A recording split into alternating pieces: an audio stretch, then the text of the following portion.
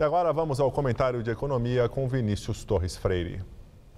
As duas candidatas que lideram as pesquisas de voto para presidente da República travam uma guerra de acusações por causa dos bancos. Dilma Rousseff, do PT, e Marina Silva, do PSB, se acusam de serem amigas dos banqueiros. Dilma diz que Marina quer fazer mudanças que entregariam o Banco Central e as decisões de juros para os bancos. Marina, por sua vez, diz que os bancos jamais lucraram tanto como em governos do PT e que o governo de Dilma concede o Bolsa Banqueiro. Tamanha é a fúria da troca de acusações que a gente quase pensa que os governos do PT tomaram alguma atitude em relação à atuação dos bancos, ou que Marina esteja propondo alguma mudança radical nesse sentido. Só que não. A presidente Dilma Rousseff, na verdade, fez críticas pesadas às altas taxas de juros cobradas pelos bancos.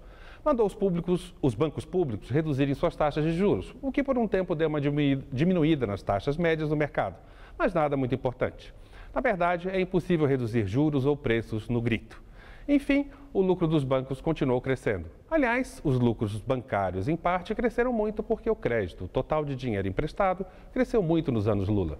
Os empréstimos eram mais ou menos 25% do tamanho da economia, do PIB, no início do governo Lula. Agora são mais de 50% do PIB. A lucratividade dos bancos é alta no Brasil? É. No entanto, a rentabilidade de muitas das grandes empresas brasileiras é tão alta quanto a dos bancos, mas não se fala muito disso. Aliás, bancos do governo emprestam dinheiro a juro quase zero para essas mesmas grandes empresas. Logo, não se pode dizer que o governo Dilma tomou alguma atitude ou medida importante para reduzir juros e muito menos para cobrar mais impostos sobre lucros de bancos. E Marina? Bem, Marina ainda não governa, mas esteve com o governo do PT até 2008. No seu programa, não há nenhuma medida mais crítica em relação à atividade dos bancos. Isso não quer dizer que se deva, que não se deva fazer algo a respeito dos bancos e seus lucros.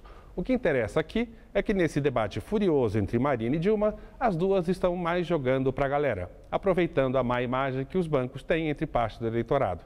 Na prática, na substância, no conteúdo, não estão propondo nada de concreto a respeito de bancos. É tudo firula para a torcida eleitoral. Boa noite.